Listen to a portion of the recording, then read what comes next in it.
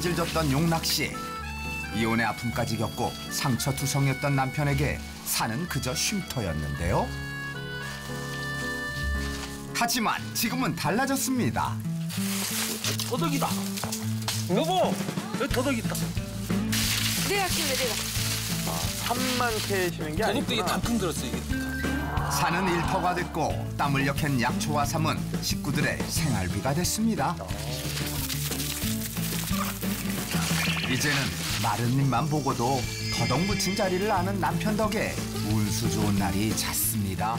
아, 이거 어우, 실하다. 자연. 산삼 캐는 거 좋아하는데 산삼보다는 사실 더덕을 어떻게 보면 더 좋아해. 개인적으로 저걸 집사람이 뭘 하거든.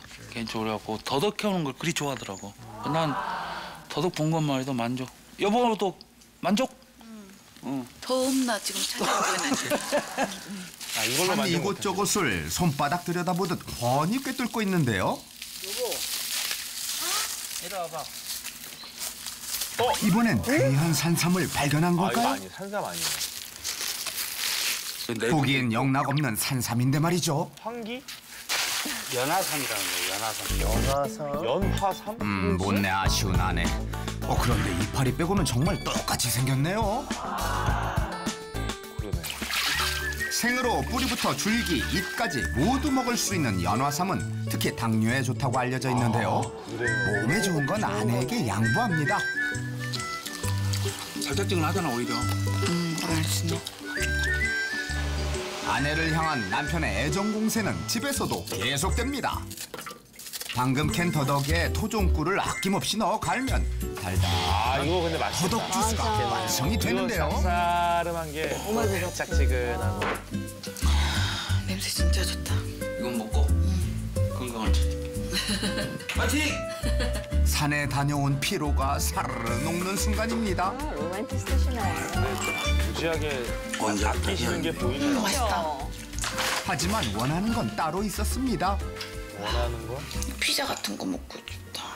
이거 이것은 이거 산에서 먹는 거고 집에서는 이것은 웬 대한민국의 상위 1%만 먹어본 거예요. 왜 피자보다 이걸 더 잘 먹는 이거 시끄럽고 입을 막아야지. 어, 어떻게 막으실려? 노랗게 물든 이것은 무엇일까요? 두 시간 전 산을 오르락 내리락 하던 남편이 캔 이것은 직접 심어 열심히 기르던 장내삼입니다. 장래 이거 진짜 내가 파, 팔아도 아까워갖고 안 키는 건데. 응? 이게 아니 그 정도로 내가 아끼는 장래라고 이거는 진짜 아 나 이제 몸이 요새 진짜 피곤해가지고 그래서 피자를, 피자를. 피곤할 자, 땐 피자. 이렇게 갖고 말아가지고 이건 좀 쓴 거 아니야? 아니야 안 써? 삶이 좋은 삶일수록 안 쓰다니까 덜 쓰다니까 그래 여보 쓴거 못 먹었는데 응, 응? 맛있다. 맛있지 피자랑. 같이 먹으면 좋 더. 이유가 좋습니다. 있어요? 부인을 챙겨주는데 이유가 있어야 되나? 당연한 거예요. 당연한 거지 부인을 챙겨주는 아니 우리가 숨을 쉬는데 왜 너를 숨을 쉬냐 그렇게 물어보면 뭐 어떻게 할까 진짜 그냥 숨는 거지 당연한 거지 기본이지 기본 세상 모든 남편들 불편해지는 말씀이시네요. Thank you. 말고 말고 얼마? 드리면 돼요? 물어봐야지 먹고 안 아프면 되지.